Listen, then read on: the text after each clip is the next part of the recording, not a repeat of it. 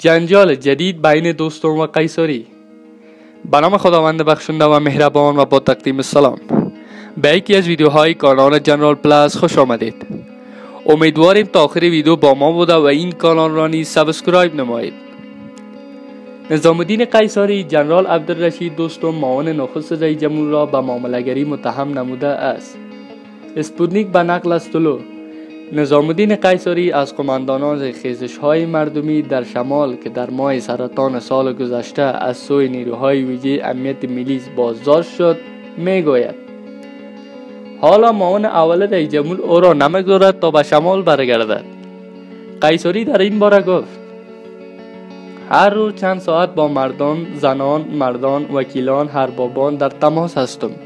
برایم می‌گویند چرا به شمال نمیایی من می‌گویم که چنین مشکل وجود دارد. او جنرال دوستم از من ترسیده. نظام الدین قیصری می‌گوید که برای پیوستن به دسته انتخاباتی دولت ساز به رهبری اشرف غنی گفتگوهایی را انجام داده است. با بعضی دوستان تماس دارم مشخص مذاکره نکردند تماس دارم بله ما را تیم انتخاباتی دولت ساز امایه کند. دولت ماست ما هم امایت می‌کنیم. اما دسته انتخاباتی رئیس جمهور غنی و ریاست جمهوری در این باره چنین نمی‌گویند.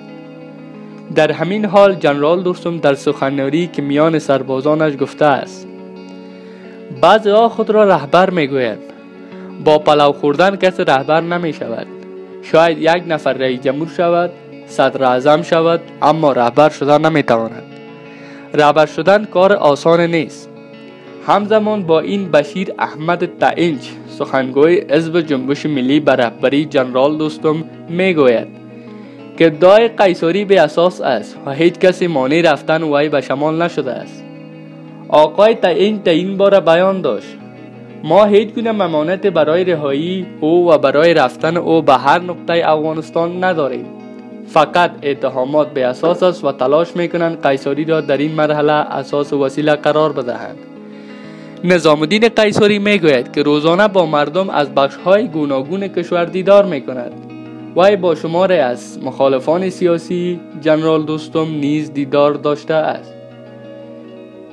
سپاس از اینکه با ما بودید. تا ویدیوی دیگر. بدرود.